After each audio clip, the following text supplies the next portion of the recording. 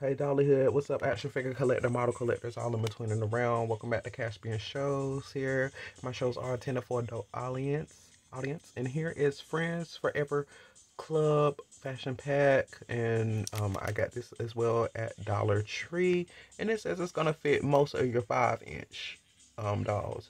So I think this will be kind of cool for like the Bratz and you know dolls that are of a smaller scale portion but i do think you could probably get these pieces onto like your rainbow high minis and uh, some other probably like shadow high some other dolls that aren't like too big.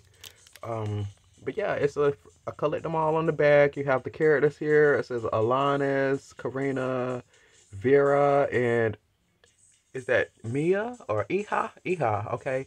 So on a field trip to the Science Center, a group of incredible girls become best friends while discovering their uniqueness and celebrating their special connection. They create a bond that will last a lifetime. Whether at summer camp, attending school, playing sports, or relaxing at home, this gifted friend group embraces all aspects of life with gifted, I'm sorry, with each other by their side. Join the adventures of Vera, Karina, Alanis, and Iha as they become the Friends Forever Club. Now I think this is the first time I've seen these. This have like a Dollar Tree. They I seen the dolls, but they're like they're like really kind of plasticky, rubbery looking. They're cute, don't get me wrong, but I just really won't in the mood to get them. They're like not really on the scale of what I go for. They're they like they are tiny. They they I feel like there might be like um I'm trying to think of a line that might be like comparable to their size. Maybe like the OMG tweens or something like that. But yeah, they are pretty tall. I mean, small. But and their clothes that they had on were like rubbery. They weren't like actual fabric pieces like these. That's what kind of threw me off about it because the fashion packs had actual um fabric pieces and they look like they're in okay, quality. Okay, yeah, and I think it's too cute. This is here is the little pleated uh skirt right here. It's got like a plaid design. Really good quality. It is really good quality. And I think this will probably fit like on a um, shadow high, maybe even a rainbow high doll. I'll do a fashion show later on. The um, the top is really cute. It's sleeveless and it looks like it appears to be a crop top.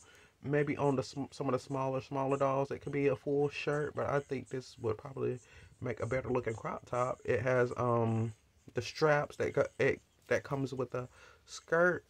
So um yeah, this could probably pull up to be a dress depending on how small the doll is, but I'm probably going to be using this with like shadow high, etc.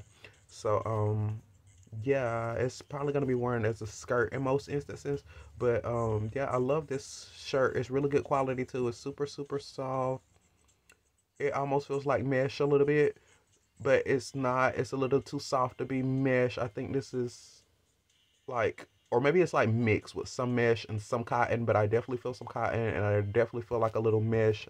It's probably a good combination of both.